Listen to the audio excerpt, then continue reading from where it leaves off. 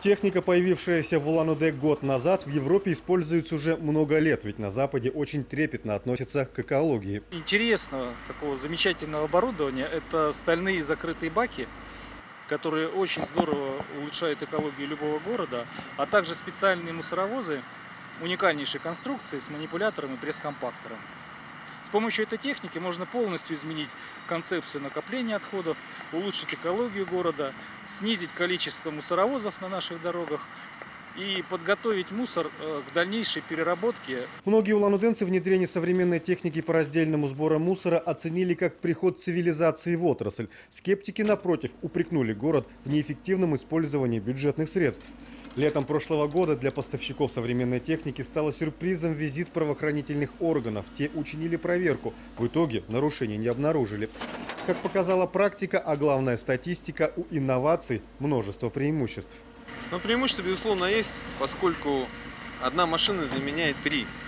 То есть экономия получается э, в трудовых ресурсах, экономия, разумеется, в ГСМ, запчастях и прочее. Практически мы их не ремонтируем, потому что если отечественную технику приходилось ну, довольно часто, а здесь мы эти машины только на ТО вовремя ТО делаем, и все, проблем никаких нет. Анатолий Бурков, который за счет поставщика ездил в Италию на обучение, считает, что именно подобная техника – это будущее коммунальных предприятий. Машина сделана более надежно. Погрузка мусора происходит более качественно. При погрузке мусор не просыпается, все закрыто. То есть вот у него сетка, да, зак- закрытая тоже. Мусор весь в машине. Баки антивандальные. То есть туда проникнуть практически невозможно, если не постараться.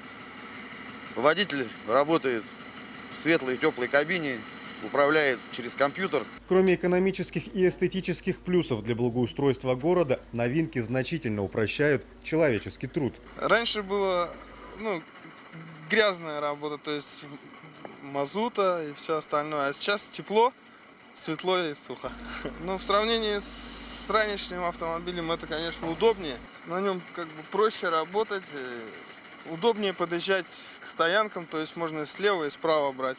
За годы работы нововведения по достоинству оценили горожане. Отрицательных пока сторон я вообще никаких не вижу, только все хорошо. А, Во-первых, стало намного чище, и, мусор сортируется. Я так понимаю, что это хорошо для экологии, и дети у меня уже к этому привыкли. Бумага это все перерабатывается, пищевые продукты это все перерабатывается. Соответственно, дети у нас разделяют мусор, они знают, что у нас два пакета для пищевых отходов и для бумажных отходов. Там коробки, бумага, ну и бутылки и все остальное.